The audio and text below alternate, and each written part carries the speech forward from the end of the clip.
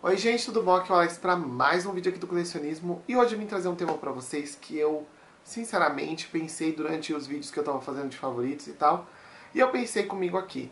É um tema que eu acho que é bem bacana, é bem interessante e é o que eu tenho certeza que vocês vão amar, que são os meus cinco perfumes que me trazem a sensação de liberdade, de me libertar, de quebrar correntes, de querer sair por aí, sem, sem, sem lenço, sem documento e viajo muito quando eu uso eles, assim, me dá uma sensação enorme de liberdade, de ser livre. Então depois da vinheta vocês vão saber quais são esses cinco perfumes. Então, bora!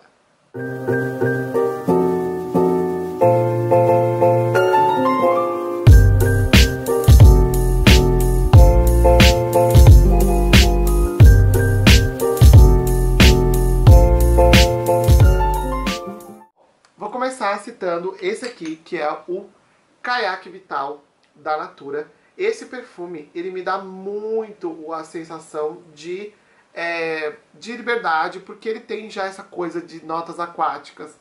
Ele tem gengibre, ele tem a lavanda, que dá essa sensação de banho tomado, de, de, de frescor, mas é um banho tomado diferente. Não é um banho tomado almiscarado, é um banho, banho tomado meio, meio adocicado, que eu gosto muito. Eu acho que ele dá essa sensação de estar no mar, de liberdade, de, de ampliação de oceano, que traz muito essa noção de que o, o oceano ele é grande, gigante, quase que infinito. Então, para mim, o Kayak Vital traz muito essa ideia de liberdade. Outro que me traz essa ideia de liberdade é o Flora Sense da Jequiti.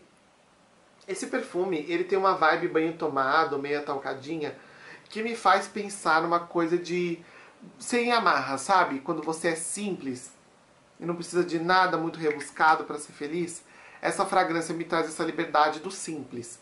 De você não ter, não, não precisar se enquadrar em alguma coisa, não precisar, é, sabe, fechar, lacrar o tempo todo, sabe?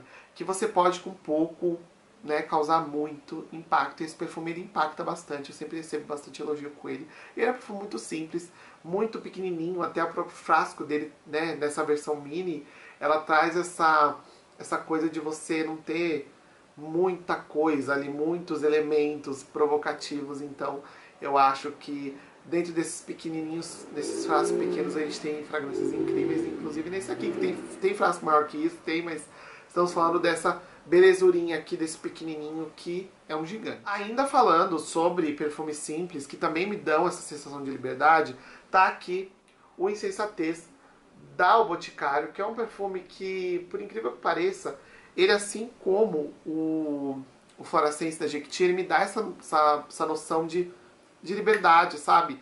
Mas além de tudo, ele é um perfume, por ele ser unissex, ele me quebra ainda mais das amarras do, dessa coisa do que a gente precisa estar enquadrado, né?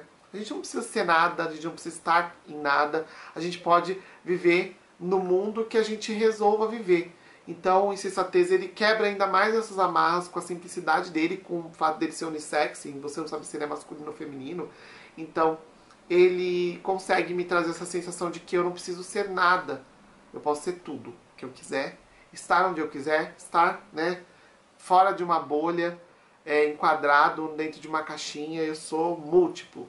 Então, o insensatez, ele é, traduz essa minha, essas minhas mil facetas. Agora, um outro perfume que também performa muita, muita, muita, muita liberdade para mim é o The Secret Temptation da Antônio Bandeiras, porque ele é um perfume para mim que ele tem um pouquinho da coisa do insensatez.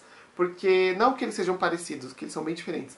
Mas o Secret Temptation, ele é um perfume que a priori você sente ele e você acha que ele é um perfume feminino, que ele lembra até um pouco La Vie Belle, mas eu acho que depois que você sente ele, você entende que ele é um perfume ambíguo e ele é um perfume que brinca. Ele é um perfume que brinca com essa coisa de ser masculino, feminino, sendo um perfume masculino, diferente do insensatez, que é aquela coisa que você de fato não consegue distinguir. Aqui você sente aquela brincadeira, que você tem elementos femininos em fragrância masculina. Ele é um perfume que tem frutas vermelhas, ele é bem interessante.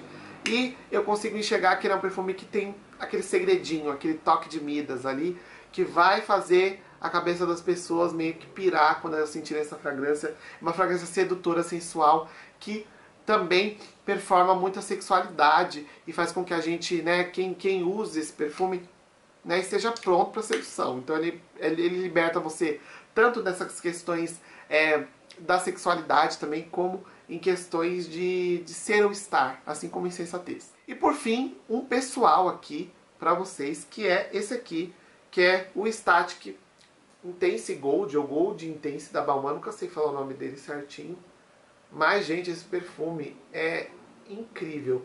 E ele, pessoalmente, por quê? Porque eu não acho que ele, de fato, tem uma fragrância que me lembre nada, assim, é, específico como os que eu citei. Mas ele é um perfume que, pra mim, ele performa muita liberdade, porque ele é o meu perfume de quebra de correntes. Eu comprei esse perfume enquanto eu ainda estava com depressão, eu tive um surto lá, tava, tipo, teve uma promoção, porque eu, eu estava mal, mas eu não estava burro e eu vi que esse perfume custava mais de 500 reais eu estava naquela fase de comprar tudo que eu via barato, porque se gostar, gostei, se não gostar, não gostei.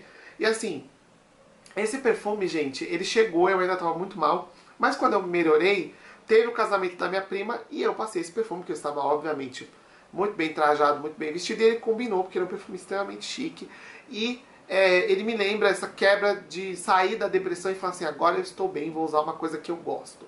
E a mesma coisa aconteceu com agora, depois do fim, né, do meio que do fim da pandemia, assim, do fim das restrições mais rígidas, eu diria, é, a gente consegui sair com meus amigos e usei ele, então, eu como eu não usei ele muito durante o período da pandemia, ele me, também me serviu para eu passar esse ciclo de estar trancafiado dentro de casa para ir para sair e viver a vida com liberdade como a gente merece, né? Então, esse é um perfume para mim que performa muita liberdade pessoalmente. Então, foram esses perfumes muito libertinos, eu diria. muito libertos, melhor, melhorei. Mas é isso, gente. Se gostou desse tipo de vídeo, curte, compartilha com seus amigos, comenta aqui o que vocês acharam. Quais são os seus perfumes que performam liberdade? Deixa aqui nos comentários. Então é isso, gente. Um beijo. Fiquem com Deus e tchau!